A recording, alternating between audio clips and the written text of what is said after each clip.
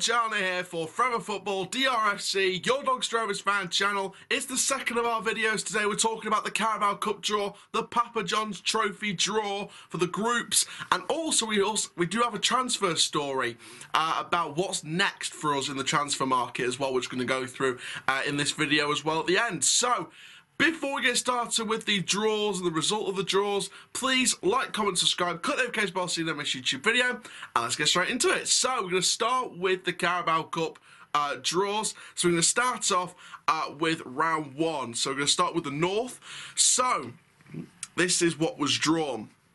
Sheffield Wednesday will host Huddersfield Town. Derby County will host Salford City. Hartlepool United will host Crewe Alexandra. Shrewsbury Town will host Lincoln City. Mansfield Town will host Preston North End. Port Vale will host Sunderland. Sheffield United will host Carlisle United. Blackpool will host Middlesbrough. Harrogate will uh, uh host Rochdale. Stoke will host Fleetwood. Walsall will host Doncaster Rovers. Oldham Athletic will host Tranmere Rovers.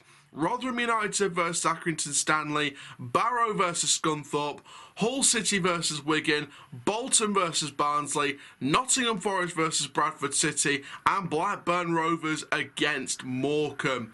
Now we look at the south side. Cambridge United versus Swindon Town, Exeter City versus Wycombe Wanderers, Crawley Town versus Gillingham, Burton Albion versus Oxford United, Coventry City versus Northampton, Ipswich Town versus Newport County, Forest Green Rovers versus Bristol City, Reading versus Swansea, Cardiff versus Sutton United, Bournemouth versus MK Dons, Bristol Rovers versus Cheltenham Town, Peterborough United versus Plymouth Argyle, Leyton Orient versus QPR, Stevenage versus Luton, Millwall versus Portsmouth, Birmingham versus Colchester, and finally Charlton against AFC Wimbledon. So that is the uh, groups, the North and the South, the fixtures, uh, the North-South fixtures for the Carabao Cup Round 1. So, of course, since this is the Donny Fan channel, we're going to go through our fixture in more detail than just our fixture. We are away at League 2 Walsall. Now, of course, uh, they've got a brand new manager. Uh, they've got they've got a host of new players. They've unveiled the kits. They're getting ready for the brand new season. And I think Walsall's still going to be a dangerous opponent to some extent. I think that Walsall has to be taken seriously. They they were a former League One club a few years back. Uh, they're in League Two now. They didn't have the best end to a season last season, but they're going to be fired up under new direction, under new uh, management, uh, under the new boss and they're going to be want to be up for this and try and go far in the Carabao Cup or as far as they can. Um, so I'd be very, very interested to see what happens with this, but I am excited as always. Now we have to go through the Papa John's Trophy group. So we're going to go through all the groups and then just share my thoughts on our group. Uh, so let's start off then with groups A and B. So Group A will have Colchester United, Gillingham, Ipswich Town, and West Ham United under 21s in the Southern Group A. In Southern Group B, we have Wimbledon, Sutton United, Portsmouth, and Crystal Palace under 21s. Group C in the southern stage, we have MK Dons, Wycombe, Burton, and Aston Villa under 21s. Uh, group D, we'll have Forest Green Rovers, Northampton, Walsall, and Brighton and Hove Albion under 21s. Southern stage Group E will be Exeter, Bristol Rovers, Cheltenham, and Chelsea under 21s. Group F will be Plymouth Argyle, Swindon Town, Newport, and Arsenal under 21s. And then Group G will be Crawley, Leyton Orient, Charlton and Southampton under, 20, under 21s. And Group H will be Oxford United, Stevenage, Cambridge and Tottenham Hotspur under 21s. Into the Northern Group stage, Group A, Carlisle United, Hartlepool United, Morecambe and Everton under 21s. Group B will be Oldham Athletic, Salford City, Tranmere Rovers and Leeds United under 21s. Group C will be Wigan Athletic, Crewe Alexandra, Shrewsbury Town and Wolves under 21s. Group D will be Port Vale, Rochdale, Bolton and Liverpool under 21s. Group E will be Rotherham United, Scunthorpe United, Doncaster Rovers and the under 21s of Manchester City. Yeah, I'm going to share my thoughts on that group in a little bit. Um, group F will be Bradford City, Sunderland, Lincoln City, and under 21s of Manchester United. Group G will be Accrington Stanley, Barrow, Fleetwood, and Leicester City under 21s. And finally, Group H will be Harrogate, Mansfield, Sheffield Wednesday, and the under 21 squad of Newcastle United. So that is the Papa John's trophy groups, North and South. Now, obviously, like I said, we're just focusing on our group. Uh, comment down below how your team's feeling about your group, uh, whoever you support whether you support the under 21 squads of the Premier League teams, whether you support the uh, the lower league clubs. Comment down below how your squad's feeling right now, because I'm pretty sure you guys are going to be excited about that one. But we've got two, that's right, two Yorkshire sides, Rotherham United and Scunthorpe United, and argu arguably the top under 21 side in this country. Probably the best under 21 side in this country, Manchester City, arguably. They've got some wonderful young players. Liam Delap, uh, Matt Smith's in the under squad that, we, that was loaned to us from Man City. Um, uh, Ike Pon, uh, Pozo, I think his name is, or Punzo. I'm not sure how it's pronounced. Um, you know, Cla Claudio Gomes. Claudio Gomes. Um, wow. they they've got some pretty decent players. Um, I mean, am I excited about them, uh, the match? I mean, I think the rule still applies from the previous season. I think it's still uh, we host the under 21s team at our ground. So fingers crossed, fingers crossed, I can get the money together to go and watch the, the Man City match.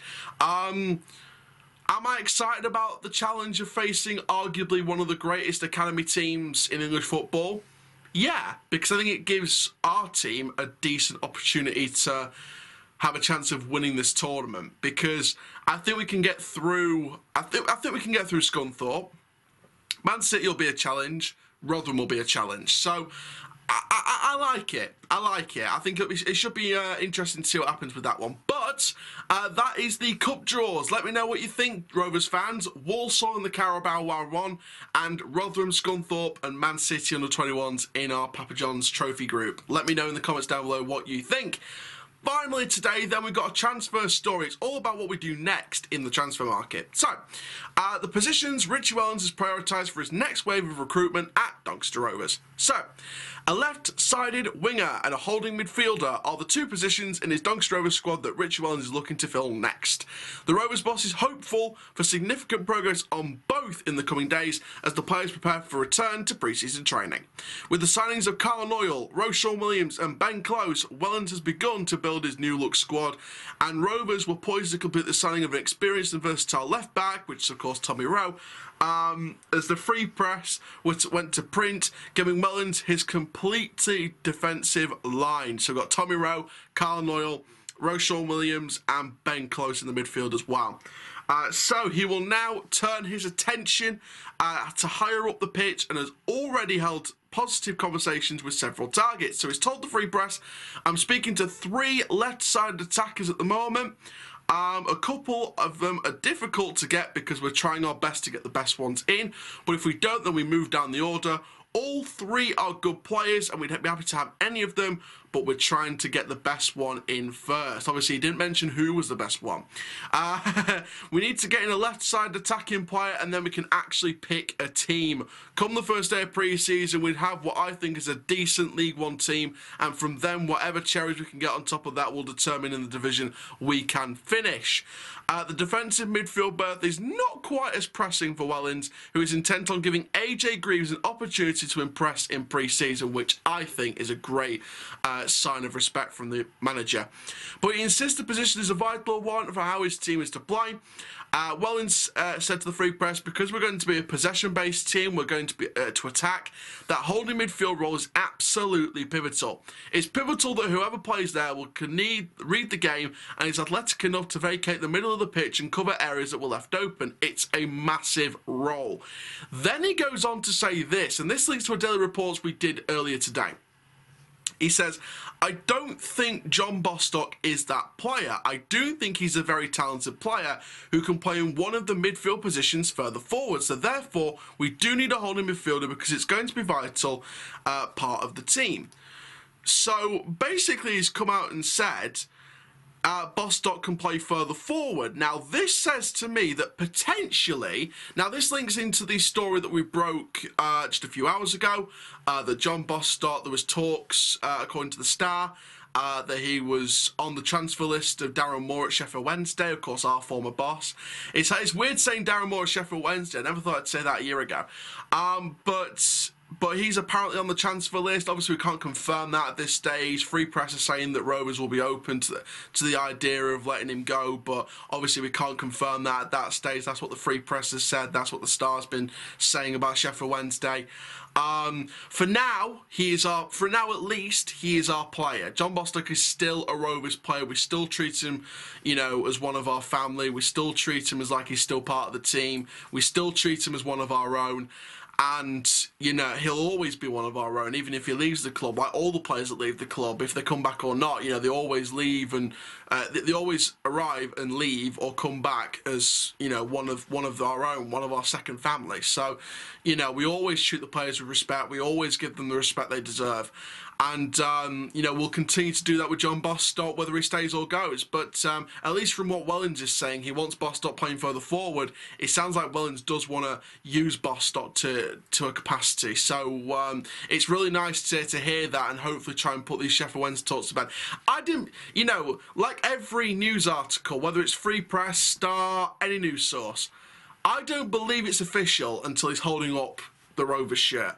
I don't believe it's official. For now, I just take it with a pinch of salt and say, if I was a fan, would I be happy with this? Would I be mad about this? If I were, if Bostock leaving is true, would I be mad about it? To an extent because I think when he started in January last season, I think that he looked like a man against boys. He was the physical dominating presence in that midfield. I think he was an amazing presence in that midfield. So I think he can be a wonderful player for this football club. He just needs the right guidance. I think Wellens can do that. So I'd be very mad if we let go of Bostock, but like I said, take it with a pinch of salt with that one. So for now, at least, he's still our player. And I think getting him to play further forward is great signs because I think it's a sign that we're going to utilise the best of his ability and play that kind of physical presence further forward, which is great. Um, so I'm really happy. I'm really happy. And the fact we're looking for left-sided players, there's three apparently we're speaking to, um, and we're trying to get the best ones in first, which is amazing. We're trying to get the number one targets in. Apparently, Carl Knoyle was the number one target at that position. Apparently, uh, there was talks that Ro-Shaun Williams was the number one choice. You know, negotiations began almost immediately, apparently, uh, according to reports. So, obviously, again, we don't know how true that is, but if that is true, and those two at right back and centre back, and even Ben Close at centre midfield, and Tommy Rowe at left back, uh, they were the first choices, then, you know, fair play to our recruitment team if we've got the first choices in, in every position so far. And long may that continue. Uh, obviously, in terms of loan players, it is going to be interesting. I did see Liam Hoden reply to someone uh, about the goalkeeper situation. You know, are we bringing in a goalkeeper? What's happening? Is it just Louis Jones and Ben Bottomley who signed his pro deal uh, this past week? And, um, you know, Liam said I'll bring an update tomorrow. So fingers crossed we'll bring you another daily reports tomorrow morning or sometime tomorrow uh, to give you an update on that situation, along with any other stories that break uh, in between that time. But for now, guys, that is going to be it. My name is Aaron Challoner from Forever Football, DRFC, keep living the Rover side, and that, my friends, is full time. Rover side I thank you very much indeed.